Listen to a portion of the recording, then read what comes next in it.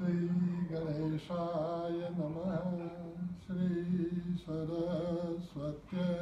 नमः श्रीसद्गुरुभ्यो भगवान् देवराय नमः श्रीराम जय राम जय जय राम जय सिया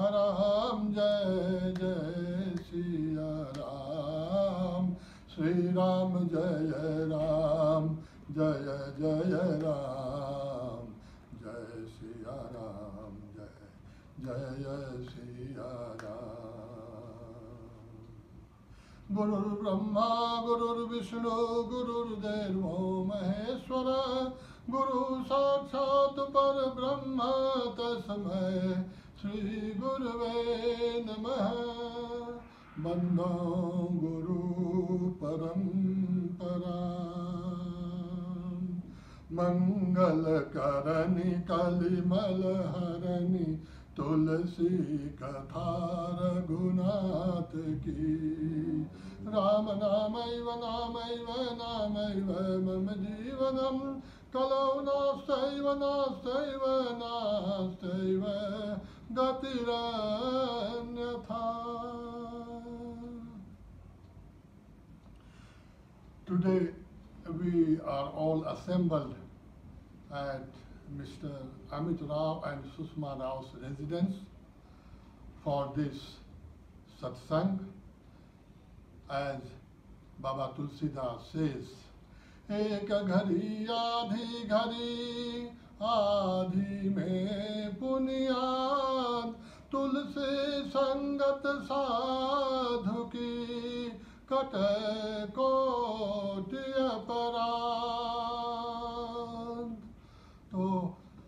सत्संग से चाहे वो छोटा हो, चाहे बड़ा हो, चाहे क्षण भर का हो, कैसा भी हो, इससे हमें महान पुण्य मिलता है, पुण्य ही पुण्य मिलता है। हम अब तक केवट प्रेम की चर्चा करते रहे हैं। केवट प्रेम में भगवान राम और केवट का संवाद हुआ है। भगवान राम ने केवट को आज्ञा दी है कि तू जल ले आ मेरा पद प्रक्षालन कर, केवट ने वैसा ही किया, केवट जल लेके आया, भगवान राम के पद का प्रक्षालन किया और अति आनंद उमगी अनुरागा, चरण सरोज पखारन लागा। भगवान के पैरों को धोते समय केवट को अति आनंद हुआ, वो जोश में रहा और भगवान के लिए उसको टोटल अनुराग हुआ। केवट ने भगवान राम का पद धोया। आगे गोस्वामी तुलसीदास जी महाराज कहते हैं, पद पखार जलपान कर, आप सहित परिवार पितर पार करे, प्रभु पुनि, मुदित गयऊ लई पार सियावर रामचंद्र शंकर उमा। बाबा गोस्वामी तुलसीदास जी महाराज कहते हैं कि केवट ने भगवान का प्रत्यक्षालन करने के बाद जो उनका चरणामृत था, उसको पाया, अपने पूरे परिवार को दिया। इतना ही नहीं, उसका लोक तो बना, उसका परलोक भी बना। उसके जो पूर्वज परलोक चले गए हैं उसको भी, उनको भी बहुत ही अच्छी गति मिली। कैसे मिली? बाबा जी बताते हैं कि गुरु गृह पढ़न गए रघुराई, अल्प काल सब विद्या पाई। तो भगवान राम लक्ष्मण जी के साथ, अपने भाइयों के साथ जब विद्या पढ़ने के लिए गए थे तो उनको सारी विद्या आती थी। तो यहाँ संतों का कहना है कि लक्ष्मण जी ने जो पितृओं के लिए श्राद्ध होता है, वह श्राद्ध कर्म लक्ष्मण जी ने केवट के पितृओं के लिए किया। इस तरह से केवट के जो पित्र थे, उनको मुक्ति मिली।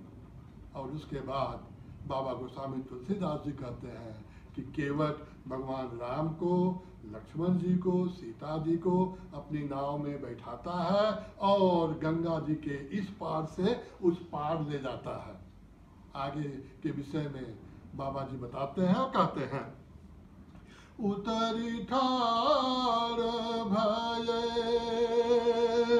सुर सारी रेता, सिय राम गुहा लखन समेता। श्री राम जय जय जय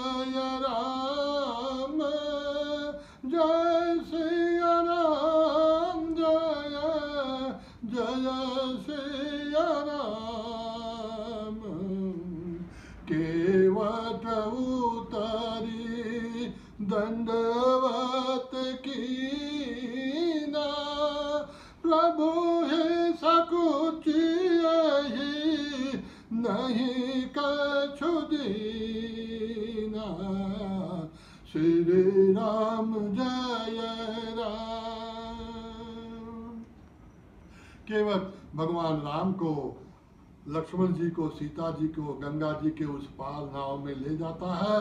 भगवान राम सुरसरी रेता, गंगा जी के किनारे रेत पर उतरते हैं और केवट भगवान को दंडवत करता है।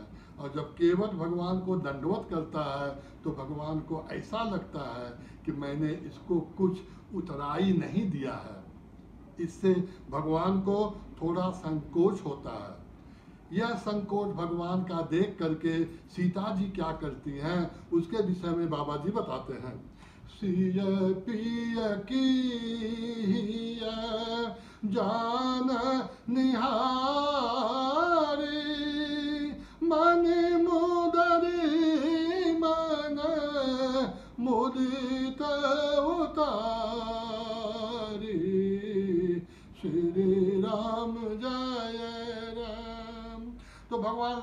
यह सकुचाना देख करके सीता जी के वो विचार आया कि हमारे प्रभु उसको कुछ देने के लिए संकुचित हो रहे हैं।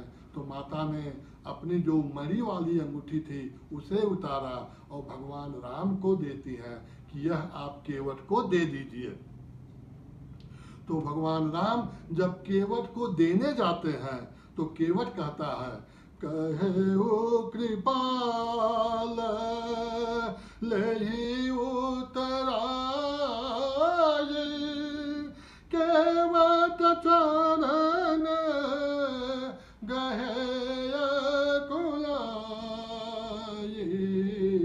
श्री राम जय राम नाथ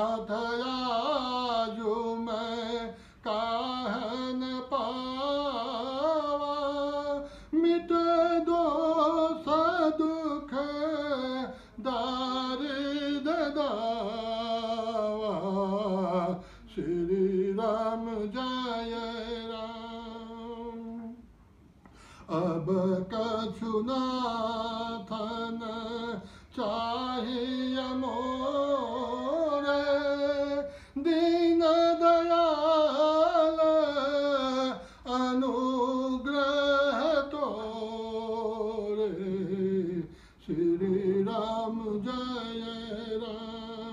भगवान राम केवट को मुद्रिका देते हैं, केवट मुद्रिका लेने से मना करता है और भगवान से कहता है कि प्रभु, आज मैंने सब कुछ पा लिया, जो मेरे दोस्त थे, दुख थे, दारिद्रता, सब मिट गया। अब मुझे कुछ नहीं चाहिए। तो भगवान केवट राम के, भगवान राम केवट के सामने खड़े हैं।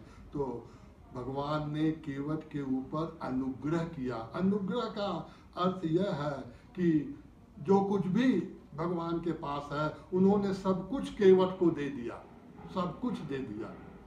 बहुत कीन प्रभु लखन सिय नहीं कछु केवट ले, बिना कीन करुणायतन बिम भगत विमल बरु दे तो अंत में भगवान ने उसको अपनी अविरल भक्ति दिया और यह दे करके उसको विदा किया।